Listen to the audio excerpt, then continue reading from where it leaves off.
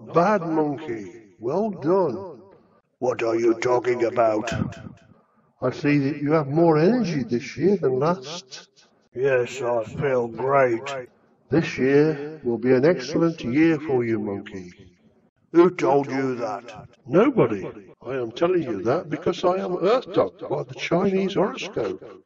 And you can predict the future for me and my relatives who are born in 1956, 68, 80, 92, 2004, or 2016?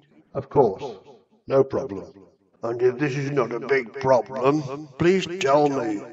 This year will be intensive and dynamic for you and your relatives. Your emotions will be more powerful than before, as well as your intuition. Your mind will be sharp.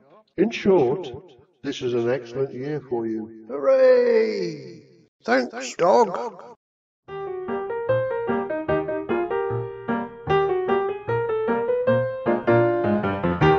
Monkey, monkey, stop! Monkey, monkey, stop! You haven't asked me about March. Monkey, hey! This month you need to work hard to fulfill your desires. Disappeared? He has too much energy. Good luck to him.